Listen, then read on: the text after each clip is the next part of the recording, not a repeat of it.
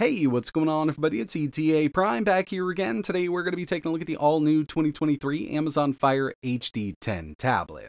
Now before we even get started here, I do want to mention one of the big reasons I haven't reviewed this yet was the price point when it's not on sale. This is coming in at $139.99, but around Black Friday, Cyber Monday, this is the best $80 tablet on the market hands down. You can pick it up in purple, black, or blue from Amazon, Target, or Best Buy. I'll leave links in the description. And at that price point, this is definitely a tablet that I can recommend. Of course, there are a lot of people out there who really don't like the Amazon Fire interface, including myself, but this can be easily fixed by installing a third-party launcher app, and we can also install Google Play pretty easily using something called Fire Toolbox. Couple clicks, you'll have Google Play installed here, and with it set up like that, it's totally worth $80. Now in this video, we're going to be taking a look at these specs. I'm going to run some benchmarks. We'll test out some video playback, some gaming, and emulation on this device. But basically what we have here is a 10.1 inch tablet with an IPS display. It's running Fire OS 8, which is based on Android 11. And we've actually got some really good battery life with this tablet the way it is. They have left the 3.5mm audio jack, and it does use USB Type-C for charging and syncing. This will fast charge at 15 watts, which, you know, in all actuality isn't that fast, but it's perfect for a tablet like this given the low price point. Micro SD card support up to 1 terabyte, and we do have dual stereo speakers that support Dolby Atmos. Not the best sounding tablet in the world, but again, looking at that price, it's pretty decent for what you're getting here. When it comes to the overall specs here, for the CPU, we've got the MediaTek MT8186A. It's an ARM SoC, we have eight cores here, two Cortex A76 cores running at 2.05 GHz, and six Cortex A55 cores running at 2 GHz. They've also upgraded the GPU here. We've got the Mali G52 MC22EE at 1 GHz. We only get 3 gigabytes of RAM, and you can actually pick this up with either 32 or 64 gigabytes of internal storage. Both of those only have 3 gigs. Now, if you wanted to go up to 4 gigs, you would have to go with their Fire 11 tablet, which in my opinion is the best tablet they've ever made, but the price is much higher than this one here. It does have AC Wi-Fi, so you can pick up that 5 GHz network. Unfortunately, it's not Wi-Fi 6 in this version. Bluetooth 5.3, a 10.1-inch IPS display with a resolution of 1920 by 1200 and 224 pixels per inch, dual stereo speakers that support Dolby Atmos, up to 13 hours of battery life, and that's with the screen brightness kinda down, for me, at 100%, I've actually been getting around 11 hours, which really isn't that bad. You can get a full charge in 4 hours with the included 15 watt fast charger, and this is running Fire OS 8, which is based on Android 11. Now with a tablet like this, it's really hard to compare to something like an iPad, even the lower end version of the iPad, or Samsung's Galaxy Tab series due to what kind of performance those put out versus this, but those are much more expensive. Remember, when this is on sale, it's $80. Amazon's Fire OS for tablets UI hasn't changed much at all in the last few years. I'm really hoping for a nice refresh. And when you get this, you will not have Google Play installed. Remember, you can use something called Fire Toolbox. I've actually done a couple videos on it. I'll leave a link for that video in the description. Works on this brand new model here. You will have to rely on either side-loading apps or the Amazon App Store. Now, if you're looking to pick this up just for video playback, Amazon App Store is great. There's also some games over there but you're not going to get that full Google Play experience without installing Google Play on this. And once we have that installed, it definitely opens it up. We don't have to sideload any of those games we can get from Google Play. And we also get Google services, which comes in really handy for games that need it. Like for instance, Call of Duty Mobile, which actually runs pretty decently on this tablet. We just can't get it from the Amazon App Store, and sideloading it will not allow you to play without Play services installed. So doing this is kind of a must if you want to get into games like that.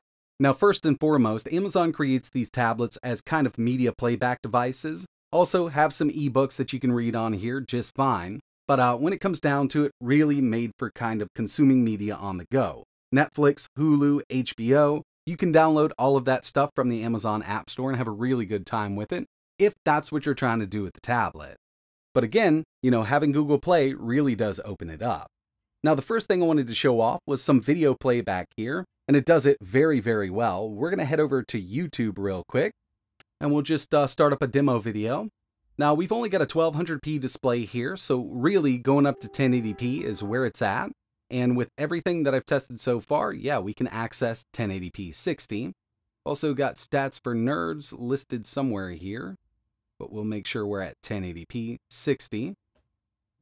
And stats for nerds, so we can see if we're dropping any frames. It's here somewhere. Oh, they changed it up. There it is. Okay, so now we've got that on screen. Just go ahead and let this play through. And throughout all of the videos that I've tested so far, zero drop frames. I mean, we've got more than enough power for 1080p 60 playback on this device. I've also gone through, tested some Disney Plus and Prime Video out. Not a problem loading up your favorite shows over there. And of course, you can access Netflix, HBO, all of your favorite streaming apps will be available for this device. And when it comes to DRM, this does use Widevine level 1, so we can get HD content in all of those. We're not going to be stuck with standard definition. So when it comes to using this as a media consumption device, not bad at all. And it also supports Bluetooth controllers. So I've just got an Xbox controller connected over Bluetooth. You could also go with their Amazon Luna controller if you wanted to.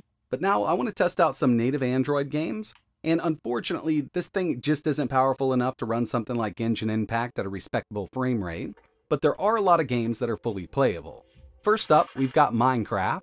And from the settings, I haven't changed anything at all. I think we're at around 12 chunks, fancy graphics is on, and every once in a while I do notice a little bit of a hiccup here and there, but I think that's uh, everything loading up in the background. Now, one game that actually gave me a few issues here was Stardew Valley. I was actually surprised. It's definitely not running at full speed, not sure what this is about because, I mean, with the CPU they opted to use here in the new 2023 Amazon Fire HD 10, it does have more than enough power to play these indie games, so uh, with this, I'm just not sure what's going on. I also tested Dead Cells, that was one that ran pretty well on here.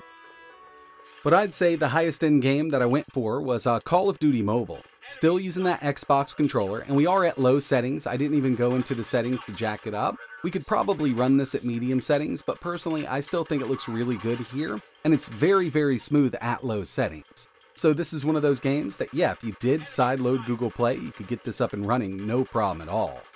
But one of the main things I'm always interested in with these Fire tablets is emulation, just kind of a cheap way to get into some retro gaming on the go. And here we have Dreamcast, I'm using the ReDream emulator.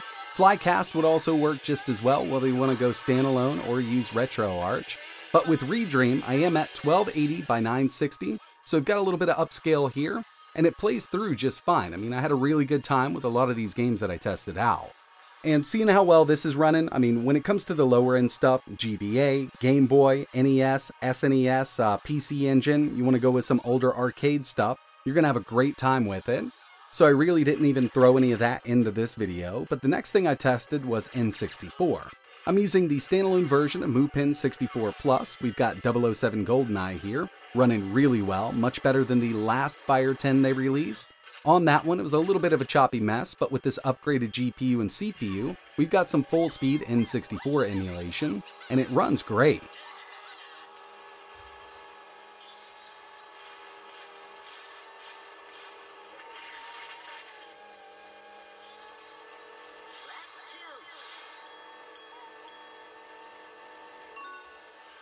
Next thing I wanted to throw at it was some PSP emulation, using the standalone version of PPSSPP, Vulkan backend, and with Tekken 6 here, we are at 2x resolution. So pretty decent, not the hardest game to emulate, I really do consider this a mid-range game. So with easier to run stuff, we could go up to 3x, but of course there is one game we really need to test here, and that's going to be Chains of Olympus. This one did pretty decently with no frame skip, but it's definitely not perfect on this new tablet. I was really hoping that they got all of those stutters out of the way with this. You know, if they pushed a little more power to it, we could definitely do it.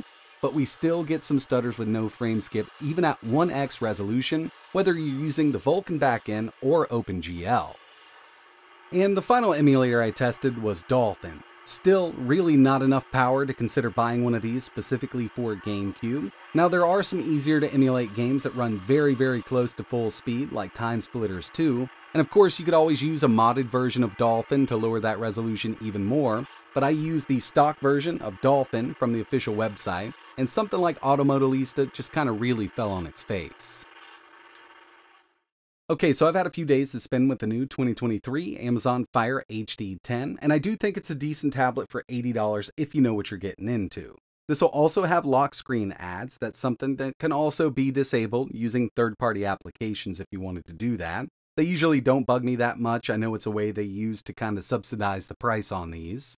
But yeah, here's the deal. I mean, if you're looking for a secondary tablet or a tablet for the kids, you know, they can play some Minecraft on it, watch YouTube, Netflix, they can play some of their favorite clicker games. And, you know, if you really got down to it, you could install Google Play, install some higher end games that'll run pretty good on this. Now, like I said, it's not going to run Genshin Impact, and it's really not going to emulate GameCube very well, but there's still a lot of stuff that can be done with this. And in my opinion, yeah, it is the best $80 tablet on the market when this is on sale.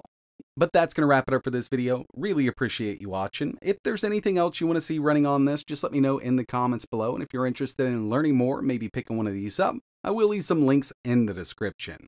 But like always, thanks for watching.